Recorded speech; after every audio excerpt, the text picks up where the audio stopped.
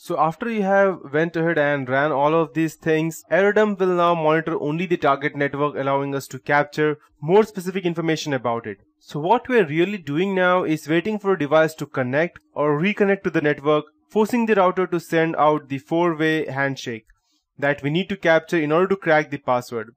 Also, four files should show up on your desktop and this is where the handshake will be saved when captured. And make sure that you don't delete them else again else you will have to go and capture them again. But we're not actually going to wait for a device to connect. No, that's not what impatient hackers do and we are impatient hackers. So we're actually going to go ahead and use another cool tool that belongs to the Aircrack suite that is called as AirPlay NG to speed up the process. And instead of waiting uh, for a device to connect, hackers use this tool to force a device to reconnect by sending a deauthentication packet to the device, making it think that it has to reconnect with the router. Of course, in order for this to tool work, there must be someone else other than you, or I know that you are not connected, but there must be someone else, at least one party uh, that must be connected to the network first. So watch the error up NG and wait for a client to show up. It might take a long time depending upon what time of day it is and who's actually connecting it. And if you're around in uh, a corporate area, then you will uh, obviously get someone or the other. Or it might take only a second before the first one shows. If none show up after a lengthy wait, then the network might be empty row or you're very far away from the network. So if you go ahead and wait, then uh, I'll, I'll, assume that you have uh, some client in between that has appeared on your network. So we'll continue to the next step. So now you need to go ahead and keep this uh, specific command running. That's aerodump ng and you need to open a second terminal and you need to type something like this. Airplay ng space hyphen 0 space 2 space hyphen a. Don't worry I'll be explaining this to you what exactly this is. Over here it would be router bssid over here hyphen c from client bssid mon 0 and uh, over here hyphen 0 is a shortcut for the deauthorization mode. 2 is the number of deauthorization packets to send. Hyphen a indicates the access point that is the router's bssid and replace the router's bssid with the bssid of the target network. So which in my case over here would be something different. That would be this one. That's the mac id and bsid and mac id are the same just to be clear. And hyphen c would be the uh, it indicates the client's basis ID and uh, you can, that you have noted in the previous picture. Replace the client's basis ID, that means the person who has connected to the network and this will be listed under the station. So over here i'll just go and create some random id again. It will be 00 colon 14 colon um, let's say fg colon cd cd colon. I don't know how exactly this works or what is the method as to how exactly this works. So I'm just writing any random stuff. E008 perfect. I believe 66 okay perfect. And in the end mon0 that is your uh, obviously your monitor interface. Change it if it's different. It's uh, monitor 1 or 2 or whatever it is.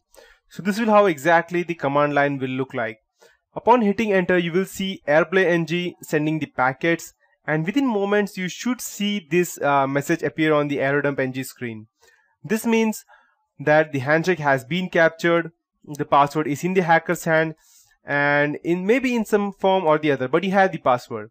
You only need thing that you need to do is to decrypt the keys. So you can go and close the AirPlay NG terminal and hit Control C on the AeroDump terminal over here to go ahead and stop the monitor mode and uh, but don't close it it just in case you need some information later on. I have closed it because I have no reason to keep it started because I have not even ran it. So this as of now till now it concludes the part external part of our tutorial. From now on the process entirely between you is you in, inside your computer and the four uh, files that on your desktop that is you'll get some four files over here in the desktop with period cap extension that is important so I'll just go ahead and delete all of these things because I have no reason to keep it as it is.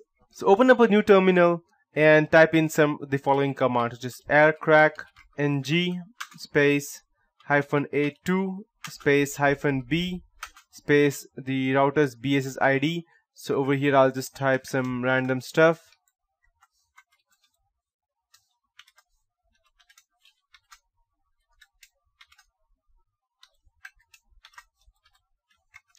uh, E9 perfect. And over here I'll just type hyphen W. This would be the path to the word list. So in our case it would be something like uh, slash root and let's say for example W and the name of my word list would be I'll just go and type word list over here whatever the name of your word list is slash desktop if I have that on the desktop. Okay let me check. Uh, okay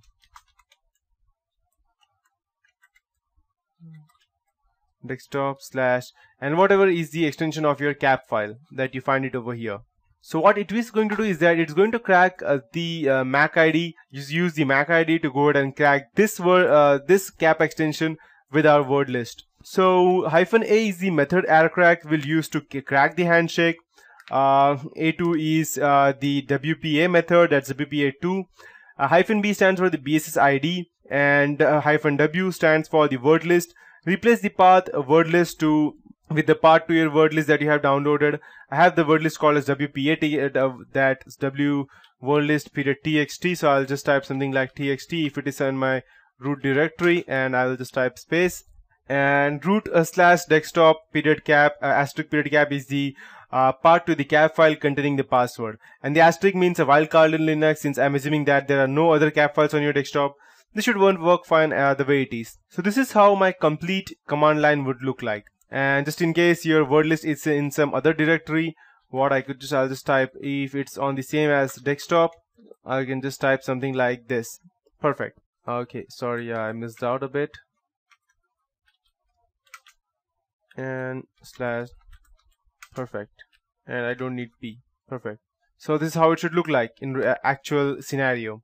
And as soon as you hit enter, AirCrackNG will now launch into a process of cracking the password. However, however, it will only crack if the password happens to be in the word list that you have selected. Sometimes it nots, in case the password is something like AZSD12911S47, some random word. In case it's that, it's it won't be crackable. And if this is the case, then you can congratulate your owner on being impenetrable. Of course, only after you have typed every uh, word list that a hacker might use or make.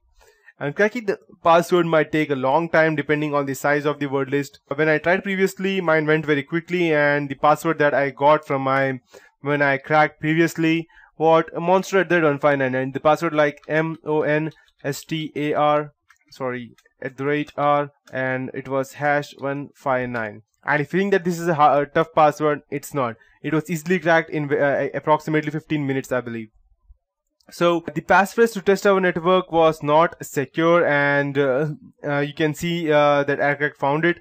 So if you find the password without a decent struggle, then change your password. So best way to do this would be go ahead and crack your own Wi-Fi setup.